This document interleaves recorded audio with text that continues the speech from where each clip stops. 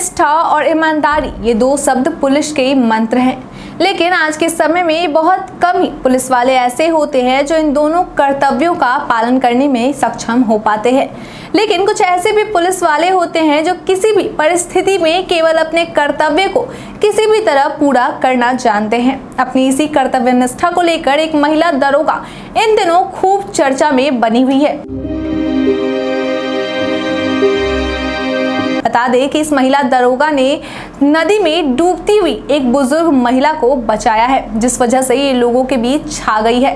इस घटना के दौरान महिला सब इंस्पेक्टर की दिलेरी और मानवता दोनों देखने को मिली है। बता दें कि महिला दरोगा का ये वीडियो सोशल मीडिया पर खूब वायरल हो रहा है। वहीं लोगों के द्वारा भी इस वीडियो को खूब पसंद किया जा रहा है और सभी जमकर महिला दरोगा की प्रशंसा कर रहे हैं और साथ ही सैल्यूट भी कर रहे हैं।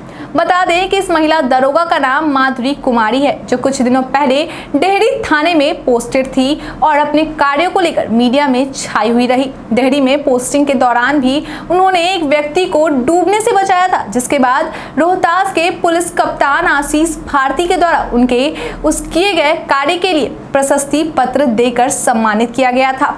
कुछ दिनों बाद ही माधुरी कुमारी की पोस्टिंग रोहतास में कर दी गई, जहाँ आम लोगों के द्वारा एक महिला की डूबने की खबर पुलिस को दी गई, जिसके बाद आनंद फानन में रोहतास थाना में पदस्थापित महिला दरोगा माधुरी कुमारी घटनास्थल पर पहुँची और उस महिला को लोगों की मदद से डूबने से बचाया और खुद गाड़ी लेकर अस्पताल पहुँच गई। सब में सबसे बड़ी बात यह है कि दरोगा माधुरी कुमारी ने उस बुज़ुर्ग महिला को अपने गोद में उठाया और सीधे अस्पताल के बेड तक लेकर लेकर गई और फिर वहाँ मौजूद डॉक्टरों को सूचित किया। इस घटना के दौरान ही किसी ने इस पूरी घटना की वीडियो बना ली और सोशल मीडिया पर डाल दिया, जिसके बाद महिला दरोगा की दिलेरी का यह वीडियो लोगों को खूब पसंद आ रहा है। और साथ ही यह वीडियो वायरल भी हो रहा है।